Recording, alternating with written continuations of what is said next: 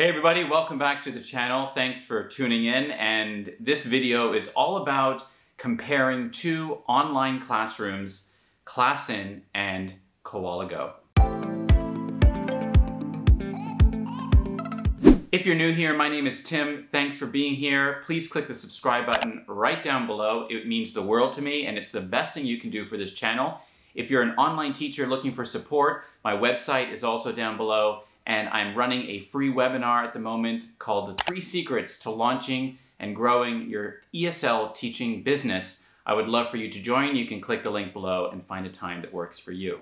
So if you have been around the channel for a while, you know that I sort of see this as a place of resources. I very rarely hang my hat on one company or one service or one solution for online teaching, and I like to really give the broad spectrum of all the options that are available, whether that's about curriculum, whether that's about companies that you can apply to, but in this case, it's about online classrooms. And in this video, I'm gonna talk about two online classrooms that are quite different from video conferencing apps like Zoom and Voov and things like that, where you're very limited by what you're actually able to do inside of the classroom once you're teaching. Most of them allow you to do screen sharing, use the chat box and have a sort of blackboard type experience where you can draw and type on. But online classrooms provide so much more. They're really designed to give the teacher the best teaching experience and to give the student the best learning experience by providing the type of educational tools that we're looking for as online teachers. Also, if you stick around at the end of the video, I'm gonna tell you if I'm moving to Koala Go and not teaching with Classin anymore. I only really know my experience. So I'm gonna be talking about my experience. I'm not coming at this as a Classin expert or a Koala Go expert. I'm simply sharing my experience. And that's what I've always tried to do on this channel. So I hope you appreciate that and uh, let's talk about it. So as I talk about these, I'm gonna be talking about Classin first and then Koala Go. So Classin uh, on their website states that they were established in 2014 in China. Now, I know that they are a well-established company and they do have lots of students and teachers tutoring and teaching online in groups, one-on-one with schools. I mean, they are really everywhere and lots of teachers are using them to teach their students on. I don't know the specific details on when Koala Go was established. I know that they are a much smaller company and they would have less students and teachers teaching on them, but they are gaining lots of popularity amongst teachers and tutors who want to teach online, especially with the Chinese market. All right, now let's talk about pricing. Everyone wants to know how much does it cost? Classin has a free version where you can sign up for free and you can teach a maximum of 20 classes per month. This is not 20 classes per student, it's 20 classes in total, and their classes are capped at 45 minutes each. So if your situation requires you to teach more than that, then you're gonna have to look at one of their two payment options. The first one is their, I would call it consumption model, which is kind of a top-up system. I think the consumption model might be good for you if you might have two to four students and you, you know, you're not going to fit into the free version. But essentially, it's a minimum of 100 RMB top up. So you top up your account, which is about $15, and then you are going to be deducted per class per student that you're teaching. So the deduction is 5 RMB, which is about 70 cents per student per hour. They also have a subscription model, which is my preferred model because uh, it just keeps it simple. You're not running out and having to top up. And I think that the monthly rate for that is really reasonable. So the subscription model is essentially based on six months or 12 months. For six months, it works out to be about $128 for six months, which is about $21 per month if you calculate it per month. If you go with the 12 month option, it is $120 for, uh, sorry, $240 for 12 months, which is $20 per month. So somewhere between 20 and $22 per month. Um, and actually the link in the description, if you do sign up with Classin, gives you the 20% discount. If you don't use a link, from somebody to get that 20% discount, then you're gonna be paying 20% more. So Koala Go has a very similar structure minus the consumption model. They have a free trial which you can use and they also have a subscription which is $21.99 per month. So at the end of the day, they really are about the same if you're going, you know, taking them side by side, subscription for ClassIn versus subscription for Koala Go. I think that they're both super reasonable and uh, that will give you, you know, uh, an ability to teach unlimited classes and you won't have to worry about topping up and how much money do you have left and things like that. In terms of onboarding students, meaning how are you going to get your students registered or into the classroom, things like that, the process is quite different for both of them. And I'm going to actually insert some videos here to show you the difference. Let's begin with ClassIn. So with ClassIn, once you're inside of the ClassIn app, the way you're going to invite students is by going up here, clicking plus, and you need to add them as a friend. You can do this by sending them a QR code to join your class, or you can send them a link to join. Once they are connected as your friend, then you're going to be able to create a class for them. So you're going to click on create class, and you're going to name that class. So I'm going to name this class demo class for the sake of this video. And then this is the class situation where you're going to create courses, lessons, upload files if you want, and things like that. So if I go to lesson, um, you can see here that I don't have any lessons, and in fact, I don't have any students uh, in this classroom. So you're going to do that by clicking plus to create your lesson. But in order to actually get them into the lesson, you need to actually add class members. So you click here, and then you're just going to add your student from your contacts here. Once you've done that, you're going to go and create the lesson and then it's going to show up on the left hand side here. So you can see I've got three upcoming lessons today.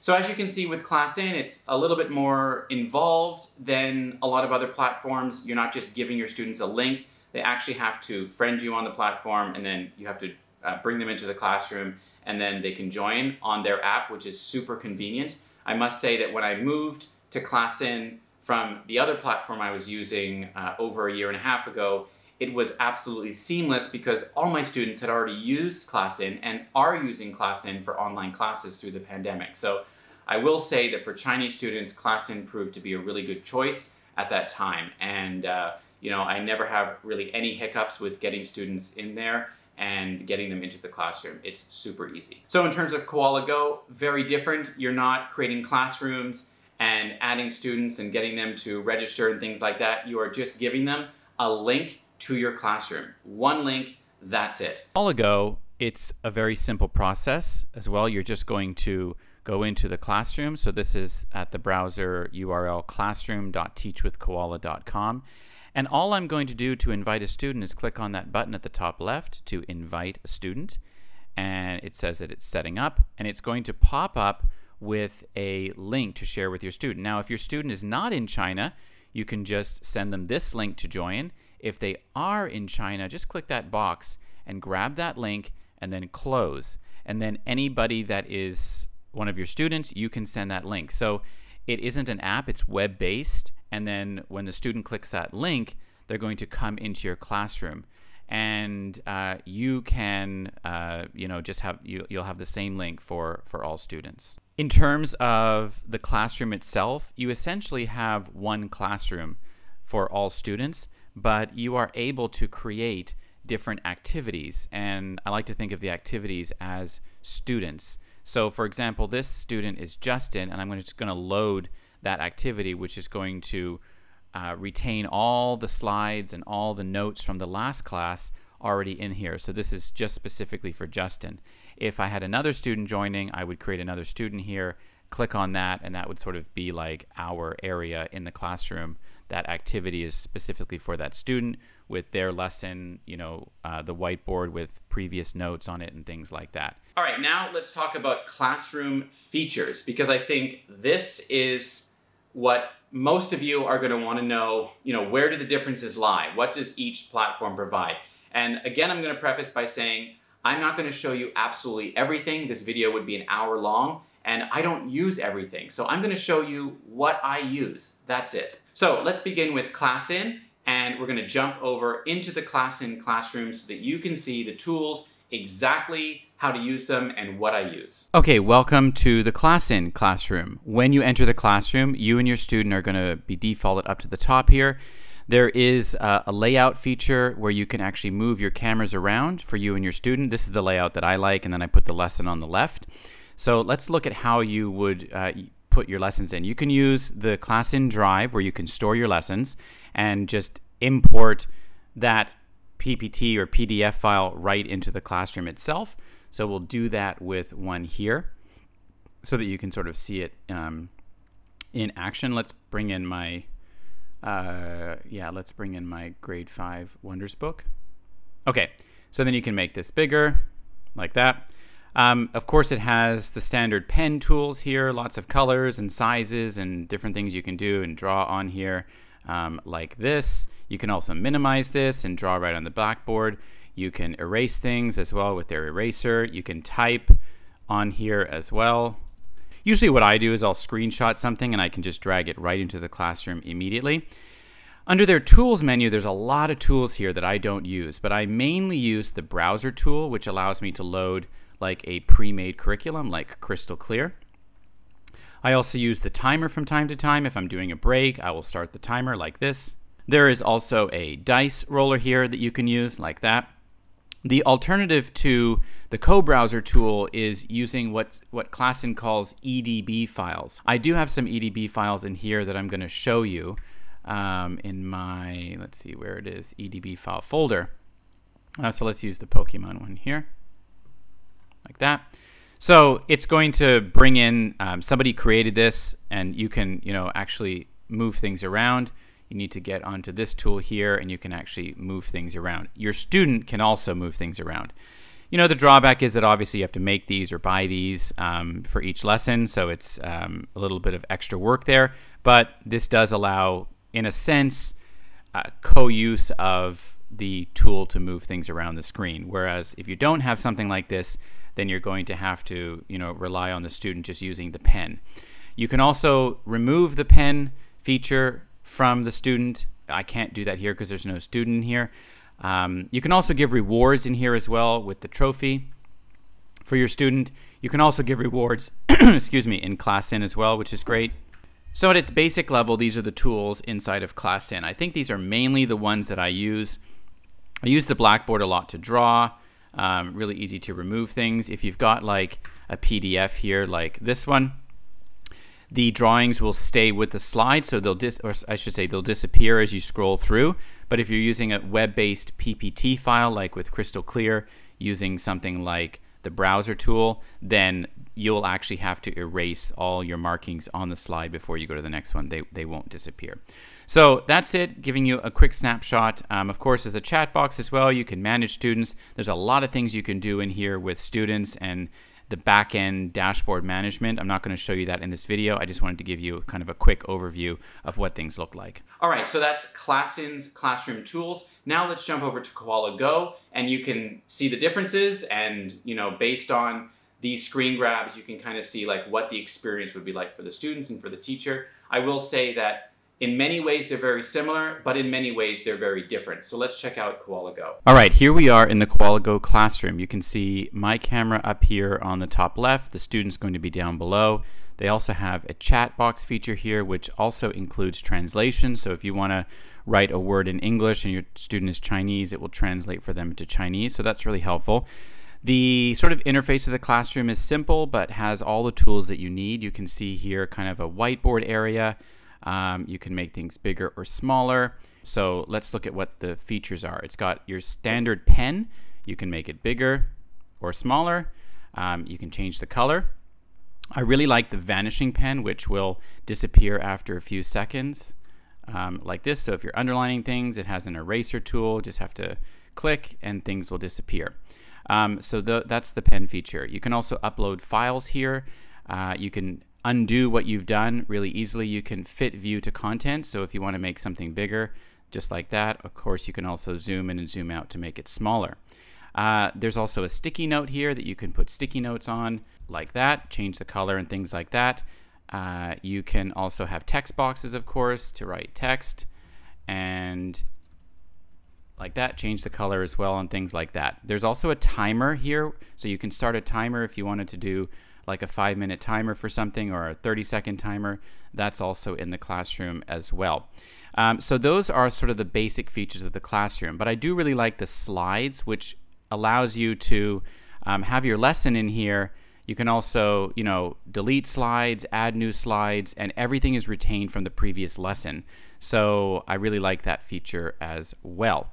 Uh, some standout features I think in Koala Go are, of course, the co-browser. So when you click on the co-browser, you're going to open up a browser for your curriculum that you and your student can both interact on and move things around. So, you know, here's a lesson right here from Crystal Clear. And when you get to a slide where things are movable, you and your student can can move things around. So that's really cool. So let's close out of here and we're going to quickly open up the playground, which is another great feature of Koala Go and one that I think your students are going to really love. So it's kind of where Minecraft meets education, where you're able to build things, remove things. Um, you're able to have dialogue. You're able to move around the screen in sort of a virtual world. And it does take a little bit of time at first to actually load the playground, but once it's loaded, you will get a better picture of, of what it's like. So here we are on the playground. If my student was here, of course, my student would be there as well. You can move this little guy around using uh, the your your um, mouse or whatever, and you know space bar to jump, things like that. You can build things, add blocks, objects, images, or stickies. I also really like the focus tool. Like let's say you wanted them to focus uh, right on this wall here, so you can go together right here. You could type things, add things, um, the sky's really the limit. Your student can also do the same. You can return to free roaming, or you can also actually go into first person view, kind of like, you know, the games that our students are playing anyway. So uh, this is really fun. Great way to have a brain break, a break in your class, maybe before your class, but also there's lots of educational ways to use this as well, which I think will be really fun to explore with you and your student. So that's the playground. Koala Go also has a built-in support chat box, which this is just amazing. I mean, if you're having trouble, they've got support from people around the world where you can get help at all hours of the day. And so this is a really great feature as well. In the menu here, you can see that there are some other things. Um, there is a marketplace where you can actually sell resources for teachers to buy. Um, Koala also has invoicing, so you get like a finance dashboard where you can uh, invoice your students and um, lots of other things that I haven't explored, but it's uh, this is just showing you the tools that I used when I was teaching my student and uh, at a basic level what's available. Okay, so I hope that looking at these features and looking inside, behind the curtain at these classrooms gives you a slightly better idea of what the experience is like. And so I want to talk about which one should you choose because I think a lot of people see the pros and cons to both and a lot of teachers have very strong opinions about Koala Go or ClassIn. And that's the beauty of being your own boss and being an independent teacher, right? You get to choose. I want to be completely transparent. I have probably taught between 600 to 800, maybe a little bit more. Hard to, I was trying to do the math of how many months I've been teaching privately using ClassIn, but I've taught many hundreds of classes using ClassIn.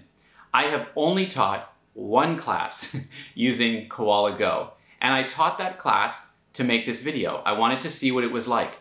And so, um, you know, my knowledge of Koala Go is certainly much less than ClassIn, but I understand the basics and I think I, well, I hope that I did a pretty good job kind of showing some of the similarities and differences and, and what the experience is like. So which one should you choose? I really think it comes down to preference. What I would do is I would get a free trial with both and I would test it out with your students. Um, just go with one that makes sense for you. Go with one that you like and, uh, and that you trust. Now I told you if you stuck around to the end of the video, I would tell you what I'm doing. Uh, because I have been with ClassIn for so long, I am continuing to teach on ClassIn. You know, all my students are on there. It's really easy. I have no hiccups. I find it is just so smooth. It's not perfect. Um, it doesn't give me everything that I want, but I don't think that there's a perfect platform or online classroom out there. However, I am very intrigued by Koala Go. I will say that uh, after teaching that one class that I did with my student. It was an hour long class. We had so much fun. Um, obviously, the playground is a big hit. It's just a case of figuring out how to use the playground in a way that's more educational and not just, um, you know, killing time or using it in a break and things like that. But it's there and it's really, really fun. And I think that there's a lot of opportunities for that. I love that Koala Go allows you to list things on the marketplace and to sell your own digital products. I think that's really cool. So, you know, there's a lot of enticing things about Koala Go. But for right now, I am going to stay with ClassIn, but I am exploring the possibility of moving everyone over to Koala Go in the future. I'm still weighing, weighing the pros and cons of both. And, you know, I think it's really fun to change things up in your business as well. Like if you've only ever used Zoom, um, if you switch to ClassIn, for example, you're going to get sort of a breath of fresh air when it comes to online teaching because it is so different. And likewise for me, having always taught on ClassIn, I think moving to a different platform also just shakes things up a little bit, helps you to become a better teacher, helps you to, you know, explore new things, new ways of teaching, and I think that that's just all great. And I'm so thankful that we have options out there to choose from. You know, uh, back in the day when I first started, it felt like Skype this is like 10 years ago when I got my first student, it felt like Skype was the only thing out there. And uh, we all know how awful Skype is if you use it. So I'm grateful that we have options. And I hope that this video is helpful to you as you explore these options and figure out what online classroom is best for you. If you've got comments about either one, let me know in the comments. Why do you like one over the other? And what are you interested maybe about trying in each of them? So thanks for watching this video. Again, please subscribe if you're not already. It's the best thing you can do for my little channel. Really helps the algorithm and get more online teachers to see my content. So thank you for watching again and happy teaching. Bye.